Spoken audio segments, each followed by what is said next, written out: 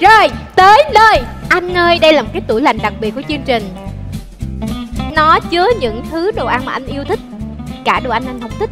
Trời ơi, có đồ không thích nữa hả? Dạ rồi bây giờ mình mở ra nha. Khoan khoan từ từ từ. Vâng ơi mở cửa ra. Ở đây có một món tàu hũ Trời ơi. Món này chắc anh không thích đâu ha. Ừm, thích. Thích. thích món tàu hũ này.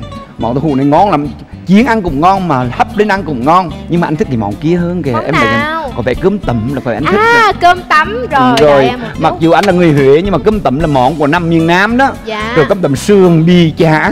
Ờ trời ơi mặc dù ăn cơm là rất mập. Mà bây giờ tự lớn rồi ăn cơm vô nó nhiều tinh bột là mập lắm. Nhưng mà mỗi lần nhìn cái dĩa cơm tẩm Muốn rơi nước mắt. Là anh nhớ lại cái thời sinh viên của anh. À lúc đó mình hay ăn cơm tấm hả? không có tiền đâu mà ăn cơm tẩm là cái đó là ước mơ của mình rồi giấc mơ thôi em bị ngày xưa đó nghe. Nghèo để cái đồ học ở trong trường là đi học về là chỉ ăn mì gói thôi. Dạ. lâu lâu gia đình gửi tiền vô mình có tiền ra ăn cơm sầm sườn bì chả. Dạ. bây giờ nhờ nhìn cái dĩa của cơm tẩm sườn bì chả anh nhớ lại. Mà cảm thấy rất là sợ mập thôi. Ủa em tưởng là anh sắp khóc vì cái sự mà nhớ cái tuổi thơ cơ cực của mình nhưng ngày xưa thôi còn bây giờ mập lắm Anh ơi có một cái loại thực phẩm đồ ăn nào mà anh không thích không? có Món gì?